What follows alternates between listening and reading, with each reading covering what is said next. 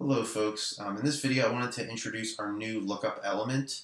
Um, so first I'm going to go over kind of what this new element looks like and then we'll go over the configuration of it. Um, so first and foremost, once you open up your new lookup element that you configure, you're going to immediately see that you can see multiple columns here. So before all you would you basically select one column and then it would look up based upon that column. Now you're able to see multiple columns on the screen here. Um, so again, there's there's five up to five columns max that you can choose with a minimum of one. Um, you're able to go ahead here and you know search for whatever you like. When you search, it'll actually search this entire list. So for example, if I just want to find Vipe, it'll uh, it'll dwindle down my search to just that. Now what you can do is you can hit the eye icon here, and um, when you hit that icon, it's actually going to bring up the details of the record. Um, you may, if it's if it's a long address or a paragraph here you have, you may not be able to see that. Um, it is only going to show the display columns. So then from here you can either hit select or just you know just tap on the row above here, and that'll actually you know execute the lookup. So then um, it's going to make other fields available for lookup, such as a photo here. So in this case, we're you know looking up details about the site, and then showing a photo of that that site um, and a few other details.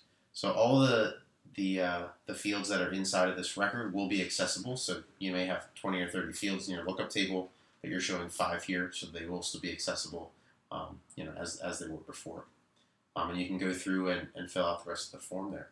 So we believe this opens, you know, a lot, a lot of new, uh, new workflows for folks, such as just viewing data um, inside the system here in a better way than just, you know, just one row, um, such as, you know, contact lists, uh, job site details, maybe a list of open or closed inspections.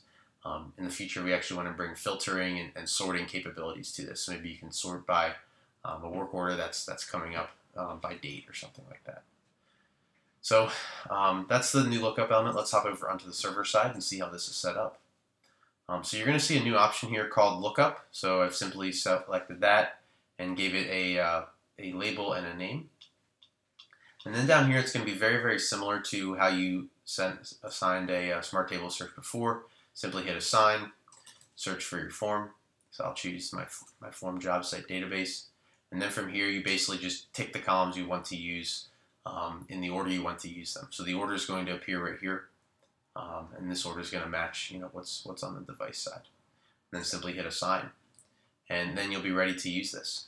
Um, now we do have some specific attributes here you can use. Um, there's two we're working on right now. One is limit. Um, maybe you only want to show uh, five, row, five rows in the table. So that'll actually limit what is shown um, on the device here in, in this view. Um, so, you know, these are optional attributes. Some, some folks may not use them. It may make sense in, in certain use cases. Um, another one here is read-only. Um, read-only is pretty important if you want to use it as, um, you know, just a read-only field where they, you can't go ahead and select anything in it. So um, if we move over to your device, the read-only would not let you select this row and use it. You can just simply open up the element, view data in it, and uh, and that's the extent. So that may make sense for things where you know you don't want them to use that data in the form. You may only want it as a you know a contact list or some some sort of reference information. Um, so once that's set up, then you're you're good to go.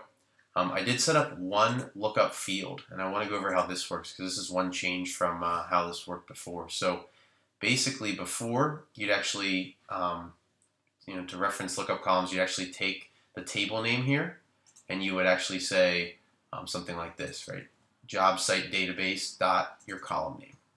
Now, there, the one big difference here is that we are actually using the data column name here, not the lookup table name, but the data column name here. Um, and then that is going to uh, you know, make that, that JavaScript variable available. So in this case, we would use site lookup, which is our, our column name here. So this actually opens up an avenue for you to have more than one lookup table on the form um, of the even of the same table. So there's a couple use cases out there where folks want to do that. Um, but it's very similar to our barcode scanning widgets in that way. Um, so stay tuned. This will be available in beta here uh, here shortly on the Android side, and then coming to uh, iOS and web forms shortly after.